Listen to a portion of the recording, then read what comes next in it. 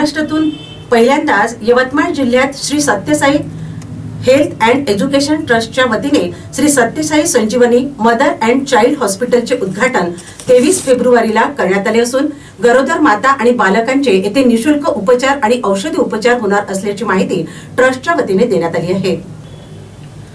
महाराष्ट्रातून पहिल्यांदाच यवतमाळ जिल्ह्यात Shri Sathya Sai health and education ट्रस्टच्या वतीने Shri Sathya Sai Sanjeevani mother and child हॉस्पिटलचे उद्घाटन तेवीस फेब्रुवारीला यवतमाळ जिल्ह्यातील रुग्णांसाठी सुरू होत आहे. महिला व बालकांना आरोग्य सेवा उपलब्ध व्हावी याकरिता या हॉस्पिटलची निर्मिती करण्यात आली आहे.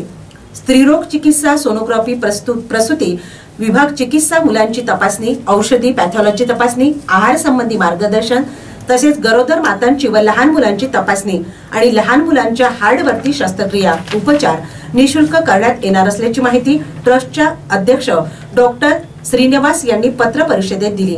या पत्र प्रसारक मंडळाचे सचिव डॉक्टर प्रकाश नंदुकर हे उपस्थित होते. कल 23 फरवरी एक बहुत ही पवित्र दिन है सत्यसाई संजीवनी की ज़िंदगी में।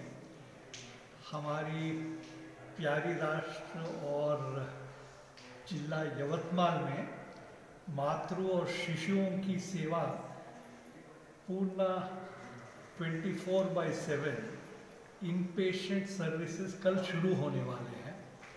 ये बहुत ही अवश्य सेवा है यवतमाल ज़िले के लिए और ख़ास करके विदर्भ के लिए, जो महिलाओं के लिए, गर्ल्स के लिए और छोटे नन्हे मुन्ने बच्चे जो पैदा होंगे, उन सब के लिए ये 1000 डे प्रोग्राम कल सत्यसाई संजीवनी से शुरू होने वाला है।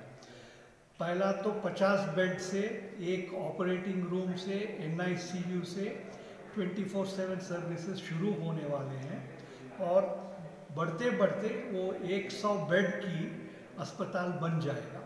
यहाँ पूर्णतः सेवाएँ निशुल्क होंगे और पूरे संजीवनी ये सेवा भाव से यवतमाल को एक जाना माना स्वस्थ केंद्र में एक जगह बनाने का उद्देश्य है। हम ईश्वर से और यवतमाल के प्रजा से प्रार्थना करते हैं कि ये सेवा हम कर पाएँ और यवतमाल को एक जाना माना ज़िंदगी का एक हिस्सा बनाना है।